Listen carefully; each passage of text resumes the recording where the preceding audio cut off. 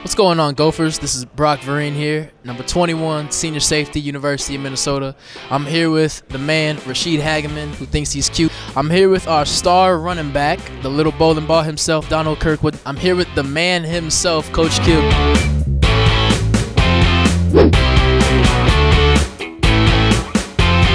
Coach, how's the day been?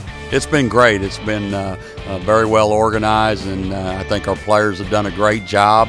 It's been fantastic. A, a lot of uh, new people I met, answering a lot of great questions, and it's just something new that uh, I feel like I probably have to deal with uh, later on in the season or just you know in my career. You know, it's been good. I, I'm having a great time.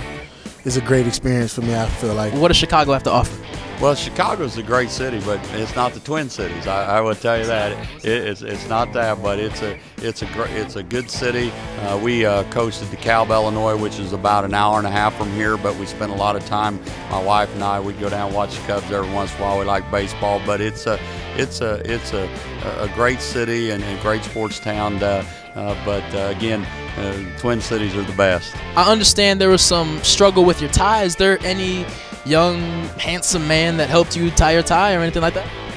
Nah, I thought about myself. No. So a young, handsome man, number 21, senior safety, University of Minnesota. He, he help you out at all? Nah, I thought about myself. Oh, okay, okay, good, good. Now there were only two rooms, and um, I understand that me and Donnell had to share a room while you get a room to yourself. Can you explain why that's fair? Well, you know, since y'all being who y'all are, y'all had to be, you know, in a room. But since I was the oldest, I definitely had to be in my own room. It comes with two bathrooms. Two bathrooms. As we get ready for camp, we're excited for another year. You bet. I look I look forward to working with you, big boy. All right, here we go. Thank you for checking in on the Brock Vereen Show. Go Gophers.